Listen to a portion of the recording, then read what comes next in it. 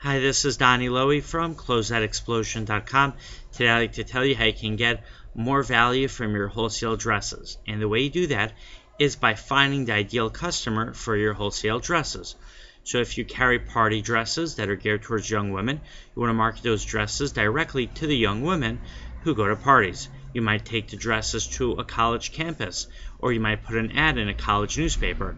If you sell office dresses, then you want to go directly to office workers. You can set up at the lobby of an office building.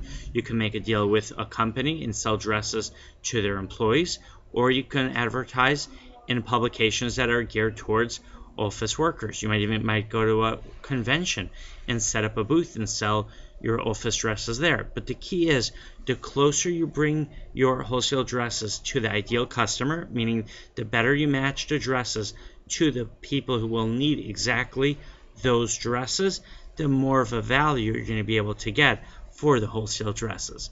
My website is closeoutexplosion.com.